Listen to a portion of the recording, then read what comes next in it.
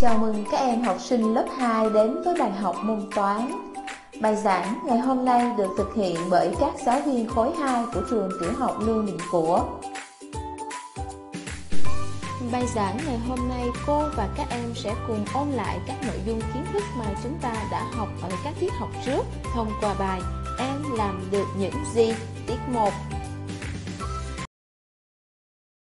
Sau tiết học này, cô mong rằng các em sẽ củng cố thêm các kiến thức, kỹ năng về số, phép tính và đo lường, bao gồm thứ tự các số, sử dụng thuật ngữ số liền trước, số liền sau, thực hiện phép tính cộng trừ qua 10 trong phạm vi 20, đặt tính trong phạm vi 100 và giải quyết vấn đề đơn giản liên quan đến đo lường. Trước khi bắt đầu tiết học, các em hãy cùng với cô nghe một bài hát nhún nhảy theo điệu nhạc để tinh thần thật sảng khoái, bắt đầu một tiết học hiệu quả các em nhé. Các bạn ơi, đã sẵn sàng xem biểu diễn chưa? Màn đầu tiên, điệu nhảy funky lửa. Nhảy múa theo tôi điệu funky, bật người thật cao. Boom boom. Người thì đung đưa nha, theo điệu nhạc. Nhảy múa theo tôi điệu funky, cùng nhau ta nhảy điệu funky disco. Màn tiếp theo, điệu cha cha chihuahua. tôi đi qua nhà cha cha hoa nhịp chân cha cha cha đàn trái cha cha cha nhịp chân cha cha cha đàn trái cha cha cha tôi đi qua nhà cha cha chi hoa hoa hãy đến và cùng nhảy điệu nhảy cha cha Tôi là Hà Mã nhảy hip hop rất ngầu Dậm một chân, dậm dậm dậm Rồi vỗ tay, vỗ vỗ vỗ Tôi là Hà Mã nhảy hip hop rất ngầu Mau lên nào bạn ơi, hip hop dừng. Và cuối cùng, nhóm chơi nhạc cụ điện, lương điện. Nhóm chúng tôi chơi nhạc thật là siêu. Lương điện guitar điện Lương điện chơi keyboard. Nhóm chúng tôi chơi nhạc thật là siêu. Mọi người hãy cùng thử Nhạc điện tử đi nào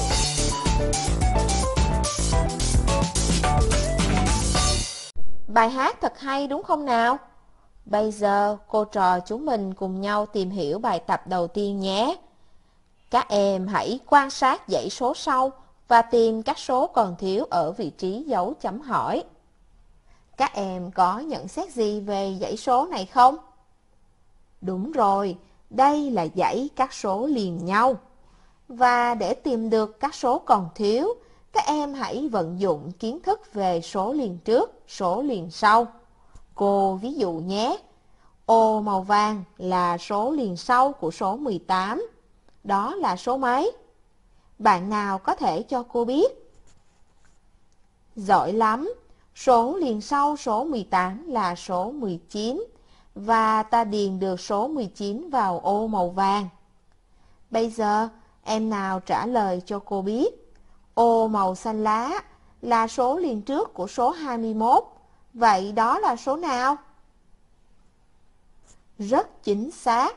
Số liền trước của số 21 là số 20 và ta điền được số 20 vào ô màu xanh lá. Vậy cô đố các em, ô màu tím là số nào? Biết rằng số đó là số liền sau của số 21 và cũng là số liền trước số 23.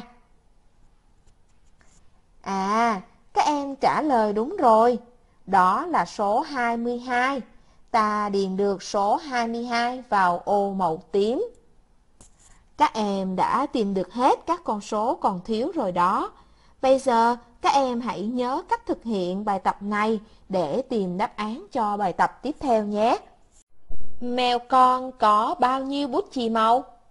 Biết rằng, mèo con có nhiều hơn 18 cái, nhưng ít hơn 21 cái. Số bút chì màu của mèo con không phải số liền trước của 21. Các em hãy thử suy nghĩ cách để tìm ra số bút chì màu của mèo con đi nào. 10 giây suy nghĩ bắt đầu.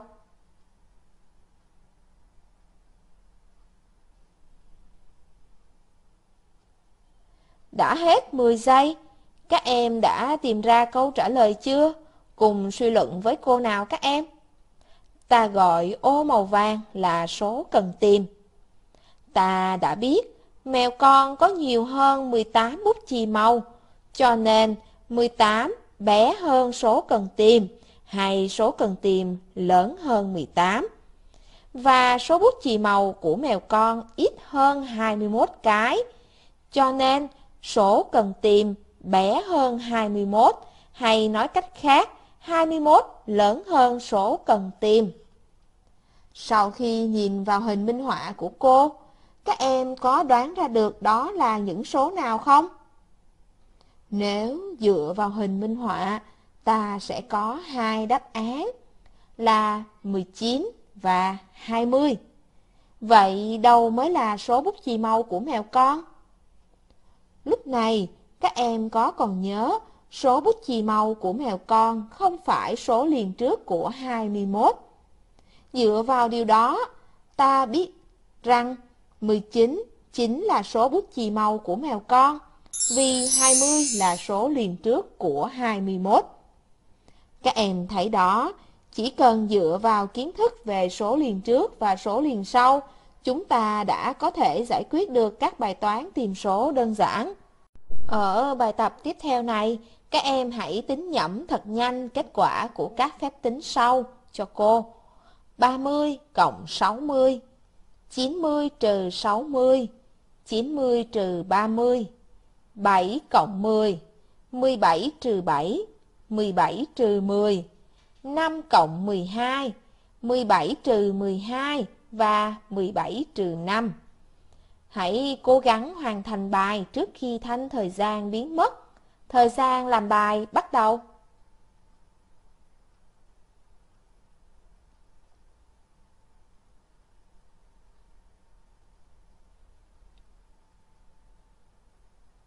Thời gian làm bài đã kết thúc. Bài tập này thật dễ đúng không các em? Cùng kiểm tra đáp án với cô nhé. 30 cộng 60 bằng 90. Nếu ta lấy 90 trừ 60 thì ta sẽ có ngay kết quả là mấy? Chính xác. 90 trừ 60 bằng 30. Còn nếu cô lấy 90 trừ 30 thì chúng ta sẽ có liền kết quả là bao nhiêu? Rất đúng. 90 trừ 30 bằng 60. Các em cũng sẽ thấy điều tương tự ở các phép tính còn lại. 7 cộng 10 bằng 17 và nếu lấy 17 trừ 7, kết quả bằng 10 và 17 trừ 10 sẽ có kết quả bằng 7. Tương tự, 5 cộng 12 bằng 17, 17 trừ 12 bằng 5 và 17 trừ 5 bằng 12. Qua bài tập trên, các em có nhận xét gì nào? À, đó là từ một phép cộng ta có thể viết được hai phép tính trừ. Đây chính là mối quan hệ giữa phép cộng và phép trừ đó các em. Bài tập tiếp theo là bài tập đặt tính rồi tính. Cô có 4 phép tính 51 cộng 18, 78 trừ 38, 4 cộng 62 và 95 trừ 70.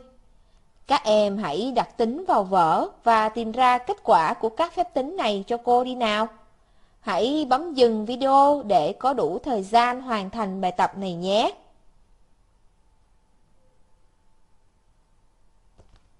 Các em đã hoàn thành bài xong chưa? Cùng sửa bài với cô nào.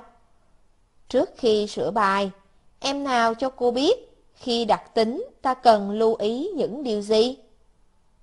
À, đúng rồi, ta cần viết các số thẳng cột, cột đơn vị thẳng với cột đơn vị, cột trục thẳng với cột trục và ta sẽ thực hiện theo thứ tự từ phải sang trái.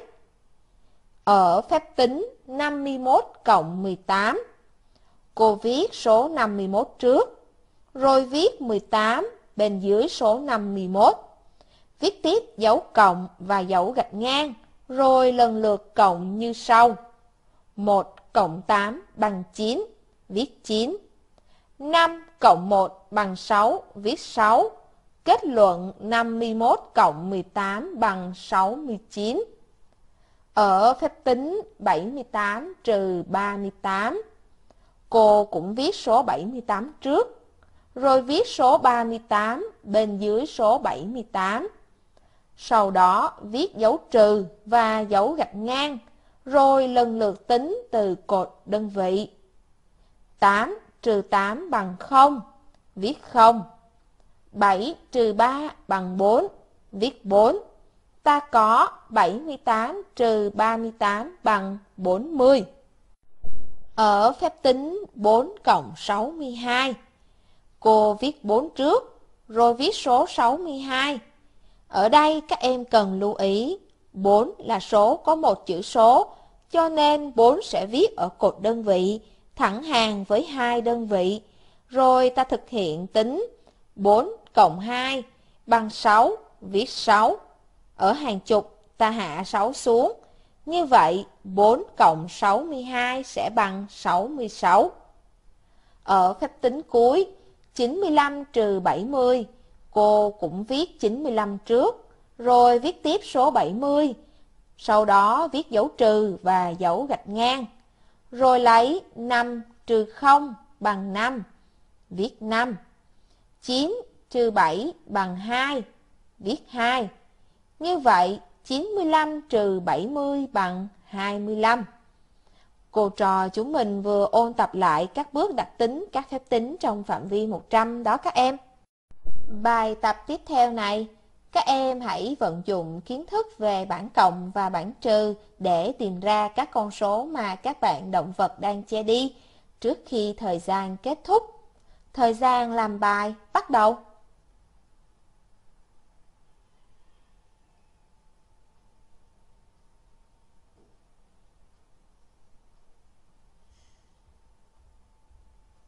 Thời gian làm bài đã hết.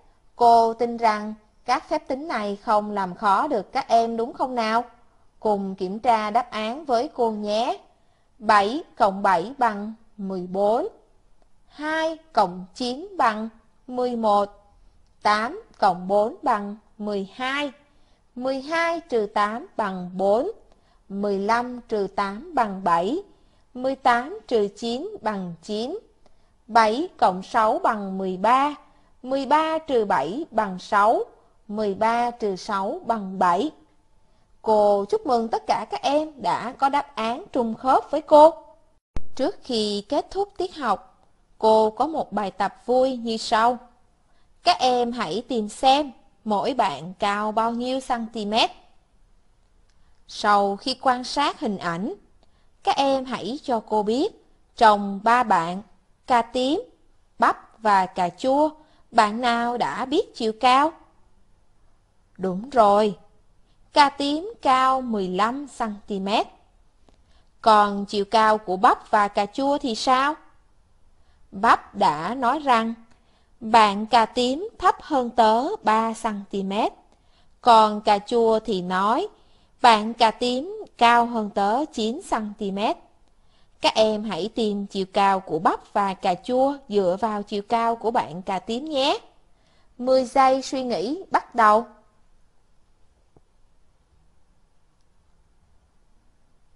Đã hết 10 giây suy nghĩ, các em đã tìm ra chiều cao của các bạn chưa?